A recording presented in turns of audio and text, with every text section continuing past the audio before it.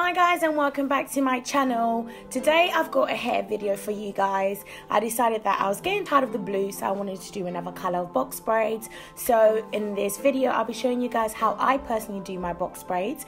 I really hope you enjoy this video. The method that I'm using is the rubber band method. Ever since I tried this method I've been hooked onto it.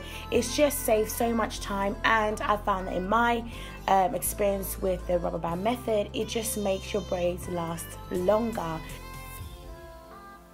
I will link all the details of all the stuff that I use in the description box. Apologies for the low lighting in the first 30 seconds of the video. It gets better. Promise you. To speed things up a little bit, I've already prepped my hair, so I washed it, conditioned it, blow dried it, all off camera, and I've already put my hair into sections. I've got two sections at the front and one at the back. To section off my parting, all that I do is I just fill around for where the parting should go. It can be quite difficult gauging where you should do the parting. So what I would say is that if you have somebody that's there with you, just ask them to help you or you can use a mirror. I always use my husband, bless him, he always stays up with me whilst I do my hair. Anyway, next up I use edge control and I find that edge control just helps to keep the hair all in place and then I take a rubber band and I just tie that around the hair quite a few times. You can do this as much or as little as you want. It's up to you. As you can see, I've now finished sectioning all of my hair. Um, basically, what happened was, let me tell you, when I do my hair, I like to focus, and so I got carried away with actually starting to braid my hair that I actually forgot to film the beginning of me braiding my hair. So, in the next clips, you will see that my hair is pretty much at the stage where it's done. As you can see, pretty much done with the hair. I'll show you what it looks like it's looking good so I've only got a little amount left to do I can't wait to finish. I'm looking forward to finishing. Do you think this color is just so pretty? Look. As you can tell my hair here is really it's not that long. So I'll show you guys what I do to make sure that it stays and holds. Well to make sure that the braid holds to my hair. So when I do my front I take a little amount of hair, just a little bit. So something like this. Place your extension on one side of your natural hair. I'm then going to use um, this finger, see here, this finger over here, which is my middle finger, and I'm going to use that and pull, pull that hair across. I am then going to pull my natural hair to one side and then I'm going to use my other middle finger and grab this hair here like that. And then I'm just going to braid it.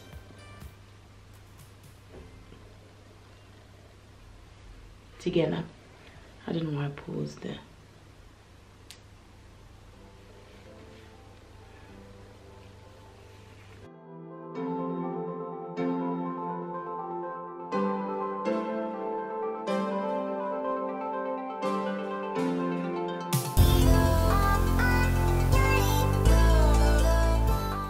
So I'll just braid it till I get to a length where I feel like it won't unravel.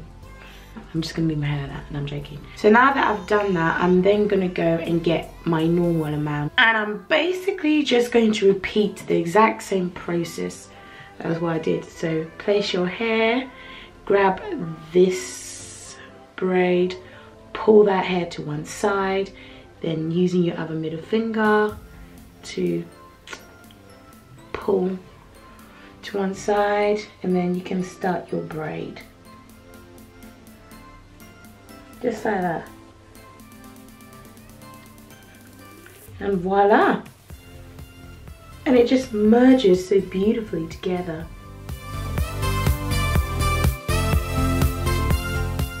Voila! Got a braid done. And my hair at the back here is thicker over here.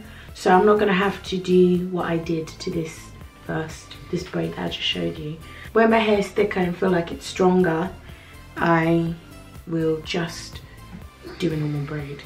So get your desired amount of hair, thickness, place the hair, take to one side and pull, bring the other hair and begin to braid.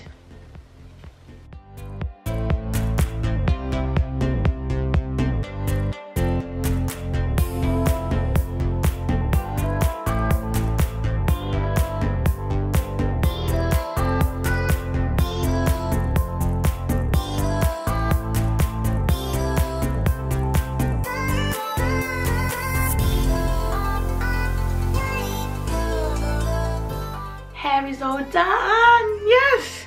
Well, the braiding part of it. God, that took ages. I'm loving how it looks so far. All I have to do now is, I'll show you. Um, sometimes when you braid hair, you get like these little, don't know if you can see. There's like little flyaway hairs here. So I'm just gonna trim those off once I've trimmed them off, I will um, put the hair in hot water so that it locks it in. But oh my goodness, I'm loving it so far.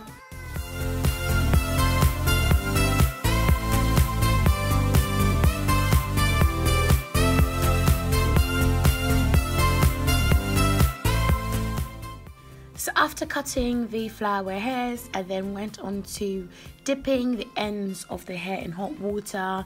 I decided to do this off camera because I don't have a tripod and it would be such a lot of effort to do that while filming at the exact same time. I don't think I could have managed.